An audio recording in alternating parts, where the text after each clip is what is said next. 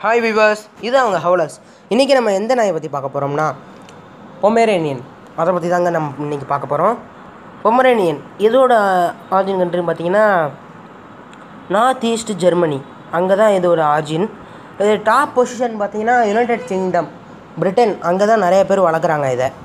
Life span பார்த்தீங்கன்னா பன்னெண்டு to பதினாறு வருஷம் வரையும் இந்த பொமரேனியன் இருக்குது ஹைட்டு பார்த்தீங்கன்னா இருபது சென்டிமீட்டர் அடல்ட்டே இருபது சென்டிமீட்டர் வரையும் தான் வளரும். வெயிட் பார்த்தீங்கன்னா ஒன்றரைலேருந்து மூன்றரை கிலோ வரையும் வரும். அடல்ட்டோடு சேர்த்து தான் கலர்ஸ் பார்த்தீங்கன்னா ஒயிட் இருக்குது பிளாக்கு க்ரே ஷேரட் இருக்குது டேன் இருக்குது ப்ரௌன் இருக்குது ஆரஞ்சு இருக்குது அதுக்கப்புறம் பிஹேவியர் பார்த்தீங்கன்னா இன்டெலிஜென்ட் சூப்பரான இன்டெலிஜென்ட் சோஷியபிள் அப்படின்னு பார்த்தீங்கன்னா வெளியே இது பண்ண முடியாது. இது இது டாய் ப்ரீட்னால நிறைய பேர் கையிலேயே வச்சு சுற்றிட்டு இருப்பாங்க. முக்கால்வாசி வாக்கிங்லாம் கூட்டிகிட்டு போக மாட்டாங்க. ஏன்னா ரொம்ப குட்டியாக இருக்கும். அதனால் வாக்கிங்லாம் கூட்டிகிட்டு போக மாட்டாங்க. வீட்டுக்குள்ளேயே தான் இருக்கும். இது ஆக்சுவலி பார்த்தீங்கன்னா இது ஒரு அப்பார்ட்மெண்ட்டாக தான். ஆமாம் அதனால் சோஷியபிள் பார்த்தீங்கன்னா நம்ம பழக்கிறத பொறுத்துங்க. சோஷியபிள் வெளியே கூட்டி போகிறது அந்த மாதிரினா சோஷியபிள்னு சொல்லிக்கலாம்.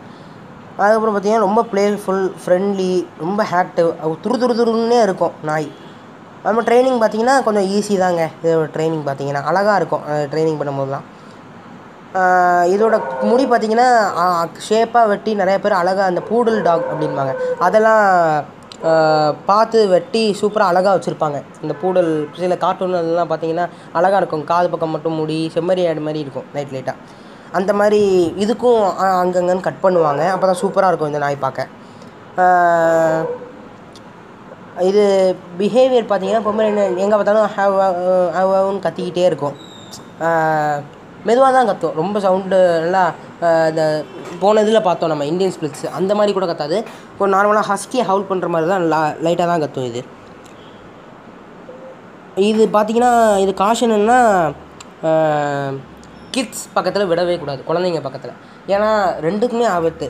ஏன்னா பசங்க இப்போ இப்போ இந்தியன் ஸ்பிளிட்ஸ் கூட கொஞ்சம் காலை பிடிச்சி இழுத்து ஏன்னா பசங்கள்லாம் விளாடுவாங்க.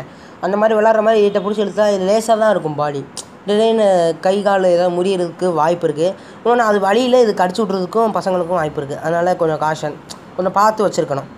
இது இன்னொன்று பார்த்தீங்கன்னா குயின் விக்டோரியா வந்து இதை ஒரு பெட்டாக வச்சு வளர்த்துறாங்களாம். சொல்லு சொல்லியிருக்காங்க. நிறையா பேட்டிலையும் சொல்லியிருக்காங்க அவங்க. ஸோ அவ்வளோதான் கைஸ் இதோட இன்ஃபர்மேஷன் பொமரேனியன் பற்றி சேனலை சப்ஸ்கிரைப் பண்ணிடுங்க லைக் பண்ணிடுங்க ஷேர் பண்ணிடுங்க கமெண்ட் பண்ணிடுங்க மறக்காமல் ஃபுல் வீடியோ ஸ்கிப் பண்ணாமல் பாருங்கள் தேங்க்யூ